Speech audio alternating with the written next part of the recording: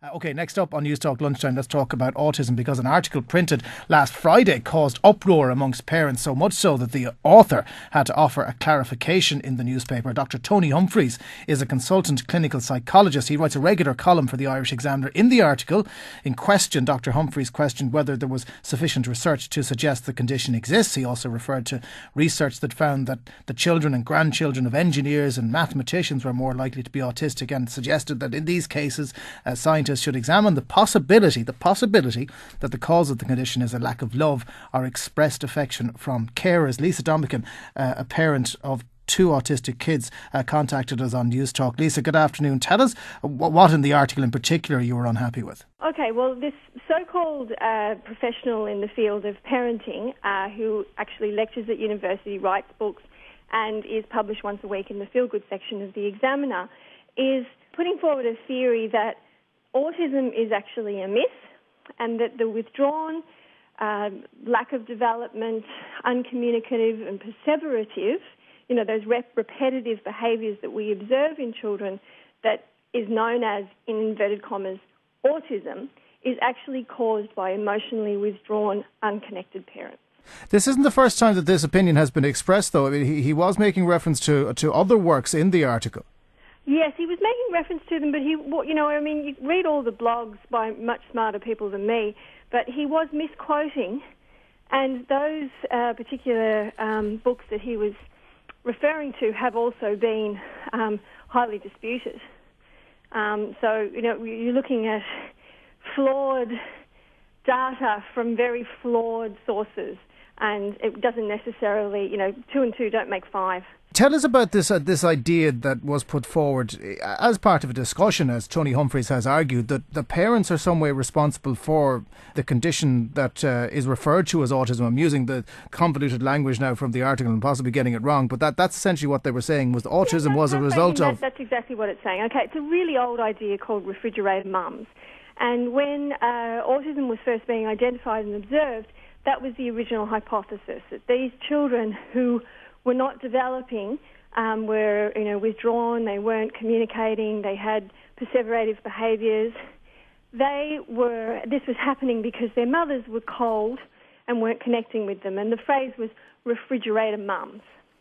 Now it has since been very discredited, and I mean. Um, Dr. Louise Gallagher, who is a professor of, of, psychiatry at Trinity University, has responded to the article today and I, I can't think of a better authority of someone who understands the neurology. It actually happens in the neurology of our brains mm. that brings autism to be a recognised condition. Now, it is a spectrum. Some people have it in mild versions. It affects some people quite severely, but it is a sensory um, disability. It affects everything that you see, hear, touch, taste, smell, okay. and distorts it. You know, this is just not, not just a theory. L- Lisa, tell us about your two boys. Uh, I actually have a, a, little girl and a boy, who well, not so little. Um, my son Liam is 14, and we first realised that things weren't going uh, the way they should when he was uh, between two and two and a half. I have to say I resisted it very strongly. I did not see what was obvious to everybody else because to me he was my perfect, beautiful boy. Uh, his sister came along 18 months later, and her uh, autism was very, very apparent from a very early age. She uh, needed to be held and squashed and squeezed pretty much from birth, and she is still like that 12 years later, and that is because of a sensory need in her body that she can't feel where she is in space unless she's being held quite tightly and that's how she's most um, secure. Neither of them developed speech. That was the first warning sign. But with my son, at the age of three and a half, I started using pictures to prompt him to communicate. So if he handed me a picture of a drink, I would give him a drink, and I would say, drink. And he very quickly learned to copy me because he had the two sources of information, the picture and the sound. I did the same thing with Grace, she did not learn so quickly to make the sound. Excuse me. So, for about six years, we were using pictures to communicate. Now, this is a recognized system called PECS. It was developed by people with a long experience of psychology and speech therapy, and it is a way of prompting communication that then reduces frustration behaviour. So, so that, really that to me doesn't sound like refrigerator mum. That sounds like someone who is doing absolutely everything within their power to help their children. And Jonathan, the, the thing that I learned very early in doing those courses where I learned to do this was that my overwhelming affection and connection with my children was actually holding them back because I was always trying to read their minds and get them things before they even had to try and ask for it. They weren't learning to communicate in a general way. And when you go and do these courses, they teach you to try not to mind read, to pretend you don't understand, which then pushes the child to take an extra step, to hand you a picture and that means that, you know, if, if, someone is, is coming to the house who doesn't know them that well, they can communicate with them. So that emotional bond can actually hold your kids back. I mean, I, maybe I failed as a mother because I didn't do controlled crying, because I picked my child up and held her every time she cried. If I was a little bit more disconnected, maybe she would have learnt to sleep settle. Um, but that didn't happen because I just couldn't do it. Now, we did ask Dr. Tony Humphreys to come on the programme today. Uh, he, he wasn't available to do that. The offer for him to come on still stands, but uh, he was writing in the Irish Examiner in defence of that original article that appeared last Friday. He said, We accept autism diagnoses as fact, but we must be open to different perspectives. What he was trying to do from what he has written is trying to open a debate on whether or not people are diagnosed and children are diagnosed with autism too readily. Is there, is there at least some merit in that argument? No, I, I did a quick straw poll amongst my friends, and I'm part of a you know a worldwide autism community uh, through the internet. No one had to wait less than 12 months, and the person who only waited 12 months actually had to go over the head of their public health nurse, who would not assess the child because the child wouldn't answer their questions. The child was nonverbal.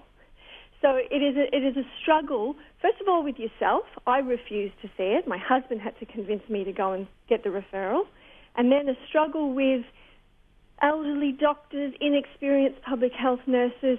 I mean, there are a lot of good people out there who are very aware of autism, but it can be hard to find them and then to go through the process of diagnosis. Now, we're part of the Trinity study into genetics, mm. and as part of that, um, the, the Trinity professor and the nurse took our blood.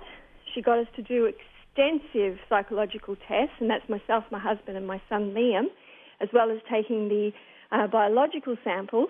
They also filmed Liam at a very early age. We went into James's hospital. So if anybody was wanted to dispute whether he actually had autism at the end of this study, they have what is now 10 years of proof mm. that this child has very obvious autistic symptoms and also has a psychological record which supports that. We're speaking with uh, Lisa Domican, who's the mother of two children with autism here on Newstalk. Lisa, this certainly has sparked a debate, lots of letters being written to the Irish Examiner on the back of the article. But uh, what do you say to the parent now who has give, been given a recent diagnosis of autism for their children? If they read this, um, their, their head must be in a very strange place.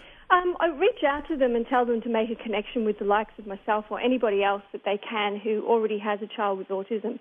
Those first two years are really hard. You're going through a grief process. You're very ready to blame yourself. Maybe I didn't spend enough time with them. Maybe I shouldn't have gone back to work. Maybe I shouldn't have let them watch television. Maybe I didn't make them enough organic baby food. You're really, really happy to blame yourself. Unfortunately, there will be very unhelpful relatives who will agree with you and say, yes, it is your fault. So to find yourself on a day where a, a so-called inverted commas professional is saying that yes, it is actually your fault makes it ten times harder. And if you can't accept that autism is a neurological condition and you're stuck in that blame cycle, you're not as useful to your child. You're not as ready to go out there and start learning about intervention, which in many cases helps them catch up. So it's actually holding a lot of people back to do this. Yeah. But it is not the end of the story. It is not. I mean, yes. And uh, can I just put on the and I'm not defending Dr. Tony Humphreys. He's big enough and bold enough to defend himself. He has declined the opportunity to come on the program. But at the same time, we all know in every aspect of medicine, medicine is not an exact science. So therefore, it will progress, and different treatments and different understandings are constantly coming along. So would you accept perhaps that this is this has been part of the debate which you're, you are now feeding feeding into as a parent, and that other medical professions can take part, either debunk, prove, or work into part of the future research? Well, I, I have to go on record here and saying I believe in the science. Maybe that's because I have autistic tendencies myself, but empirical research, double blind studies, taking one group and, and applying one theory to it, and then making sure that it is peer reviewed and repeated around the world, that's what I'm going on as, as a parent, and that's what I'm agreeing with. I know that people very sneakily have these feelings about things. People were very prepared that uh, a Polish immigrant was a doll bludger last week. And it turned out that she wasn't, but there, it was a misinterpretation of a letter. But there, were, there was a population there that wanted to send her back, that they actually had this feeling that they hadn't expressed until they saw it in print. And there are going to be people who think that I'm cute, that all the other mums and parents of people with autism are cute, and that we're just taking advantage of the situation. What we really need to do is just learn to be better parents. And, and that is what troubles me about this issue. But I just think send more love.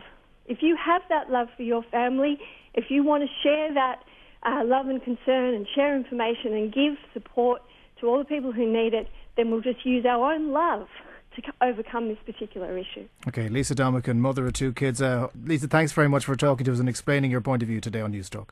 You're very welcome and thank you.